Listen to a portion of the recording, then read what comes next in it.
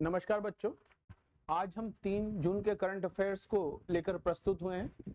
पंद्रह महत्वपूर्ण प्रश्न, कुछ महत्वपूर्ण न्यूज़ के साथ पेन और कॉपी ले लें और जिसे नोट करते चलें, क्योंकि आने वाली प्रतियोगी परीक्षाओं के लिए अगर लगातार हम इसी क्रम में क्लास करते रहेंगे और इन इंपॉर्टेंट जो बिंदु हैं उन्हें नोट करते रहेंगे तो आने वाले समय में हमें दिक्कत नहीं होगी।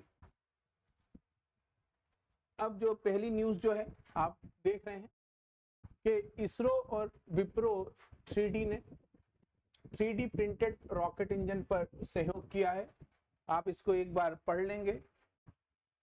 अगला है, विश्व साइकिल दिवस 2024 परिवहन के संधारणीय और स्वस्थ तरीके का जश्न मनाना।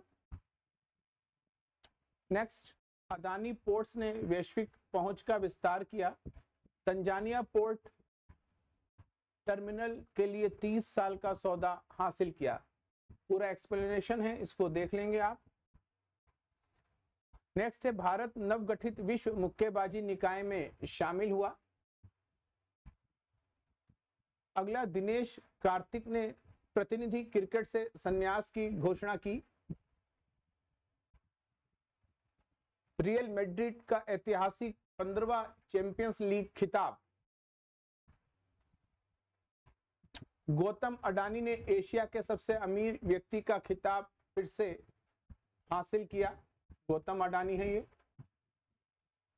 और इसके साथ ही अब आपकी स्क्रीन में जो पहला एमसीक्यू प्रश्न है, वो इस प्रकार है कि हाल ही में किस देश ने मुजफ्फर शाह मुस्तफ़ा को भारत में अपना उच्चायुक्त, हाई कमिश्नर नियुक्त किया है।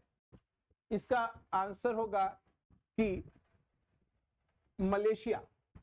अभी हाल ने मलेशिया ने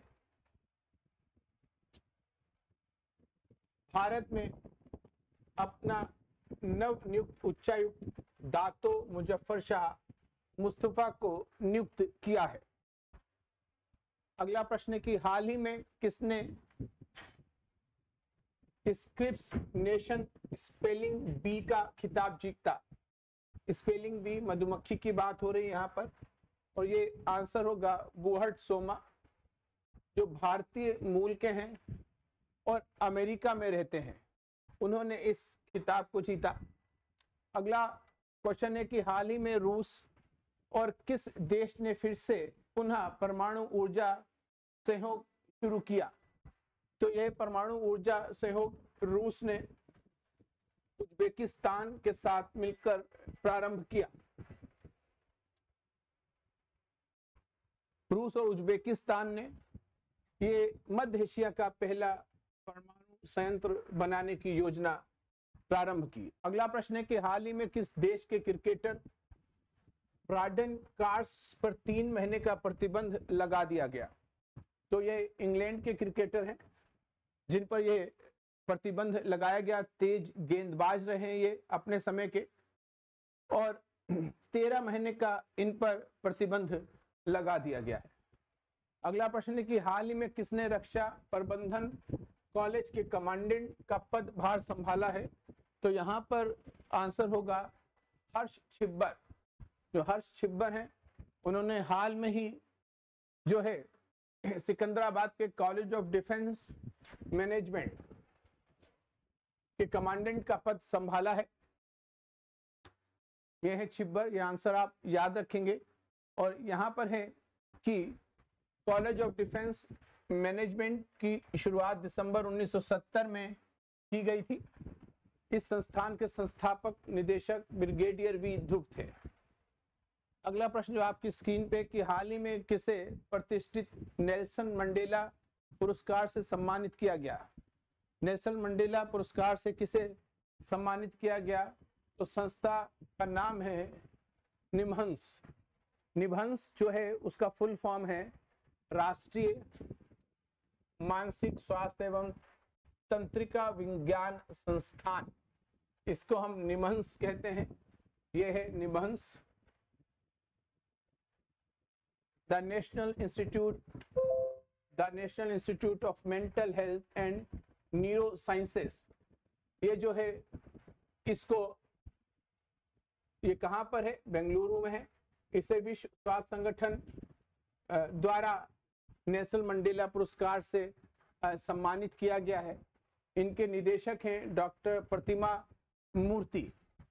और जो वार्षिक बैठक होती है डब्ल्यूएचओ की वह जिनेवा में होती है। जिनेवा जो है वो स्विट्जरलैंड में स्थित है, जबकि स्विट्जरलैंड की राजधानी बर्न है। स्विट्जरलैंड की राजधानी बर्न है। और जब हम बात करते हैं डब्ल्यूएचओ की तो इसका हेड ऑफ़िस जो है वो जिनेवा में है। नेशनल मंडेला की अगर हम बात करें तो उनको अपने जीवन के 40 वर्षों में 260 से अधिक पुरस्कार मिले। जिनमें सबसे उल्लेखनीय 1993 का नोबल शांति पुरस्कार है। तो मंडेला, जो अफ्रीका के राष्ट्रपति रहे और गांधी जी की नीतियों से, उनके नॉन वायलेंस से अत्यधिक प्रभावित थे और उनको यह पुरस्कार मिला नोबल शांति पुरस्कार। नेक्स्ट है, हाल ही में किस भारतीय मूल के शोधकर्ता ने एक मिनट में फ़ोन चार्ज कर सकने वाली तकनीकी खोजी है? बहुत ही बेहतरीन तकनीकी, अगर ऐसा हो जाए तो बहुत समस्याएँ खत्म हो जाएँगी और यह है अंकुर गुप्ता। भारतीय मूल के अंकुर गुप्ता ने ऐसी तकनीक का खुलासा किया है कि आप एक मिनट में अपने फ़ोन को चार्ज कर सकते हैं। अगला है कि हाल ही में कौन आईजीसीएआर के डायरेक्टर बने हैं। अगर हम बात करते हैं आईजीसीएआर के डायरेक्टर की तो बात हम करेंगे सीजी करड़कर तो सीजी साहब जो हैं, उनको बनाया गया है। वरिष्ठ परमाणु वैज्ञानिक हैं और ये कल्पक्कम इंदिरा गांधी परमाणु अनुसंधान केंद्र के निदेशक नियुक्त किए गए हैं। इसी को हम कहते हैं I G C R Indira Gandhi परमाणु अनुसंधान केंद्र कहाँ है? कलपक्कम है। एक प्रश्न तो सीधा सीधा हमारा यहाँ पे जो आ सकता है। और इसकी स्थापना 1971 में हुई थी। इंदिरा गांधी परमाणु अनुसंधान केंद्र भारत के प्रमुख परमाणु अनुसंधान केंद्रों में से एक है। अगला, हाल ही में कौन सा देश नव गठित विश्व मुक्केबाजी निकाय में शामिल हुआ है? विश्व मुक्केबाजी निकाय में शामिल हुआ है अभी हाल में ही भारत। तो भारतीय मुक्केबाज संघ ने विश्व मुक्केबाजी में शामिल होने के लिए सहमति जताकर एक महत्वपूर्ण कदम उठाया है। ये जो बैंकॉक में चल रहा है, विश्व ओलंपिक क्वालिफायर, उसके संदर्भ में इन्होंने ये कदम उठाया है और भारतीय मुक्केबाजी महासंघ के अध्यक्ष इस समय हैं अजय सिंह। और मुक्केबाजी का जो प्रसिद्ध नाम रहा है एक समय पे, जो वो है सुलिवन थे तो ये क्लियर हो गया।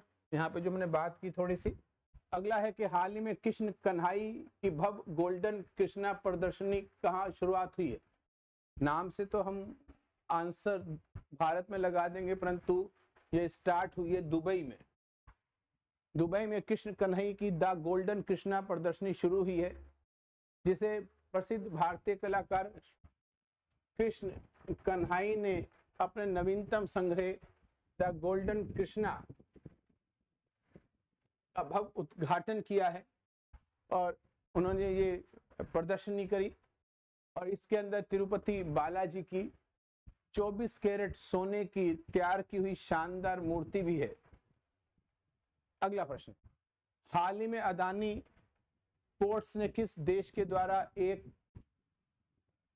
द्वारा एस सलाम पोर्ट पर टर्मिनल संचालन हेतु समझौता किया है। तो यह है तंजानिया। तंजानिया के साथ ये समझौता हुआ है और तंजानिया का ही बंदरगाह है दार एस सलाम। गौतम अडानी अडानी ग्रुप ने इसके साथ ही एक समझौता किया है। अगला प्रश्न हाल ही में तंबाकू नियंत्रण के लिए कौन ब्रांड एम्बेसडर बनी है?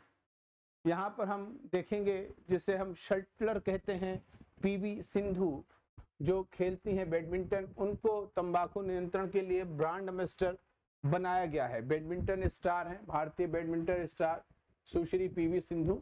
और ये प्रश्न भी आ जाता है कि नाम दे दिया जाता है किसी खिलाड़ी का और वह किस खेल से संबंधित है। इस संदर्भ में भी याद रखेंगे। अगला प्रश्न है कि हाल ही में किस राज्य ने स्कूली पाठ्यक्रम में कृत्रिम बुद्धिमत्ता को शामिल किया है। हम इससे पहले एक बार कर चुके हैं कल। केरल ने आर्टिफिशियल इंटेलिजेंसी को अपने बच्चों के सिलेबस में शामिल किया है। अगला हाल ही में मगुनी चरण कुंवर का निधन हुआ है। वे कौन थे? Recently Magani Charan Kuna has passed away who was he कठपुतली कलाकार थे। ऐसे प्रश्न आने की पूरी संभावना है तो आप इसको एक्सप्लेनेशन देख लेंगे कि उड़ीसा के छड़ी कठपुतली के अग्रणी और पद्म पुरस्कार से सम्मानित थे।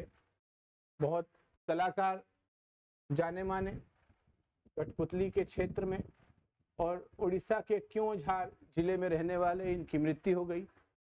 और उड़ीसा राज्य के वर्तमान मुख्यमंत्री नवीन पटनायक और राज्यपाल हैं रघुवर दास। अंतिम पंद्रवा क्वेश्चन आपके सामने की हाल ही में किस संस्थान ने DRDO institute academy centre of excellence की स्थापना की है?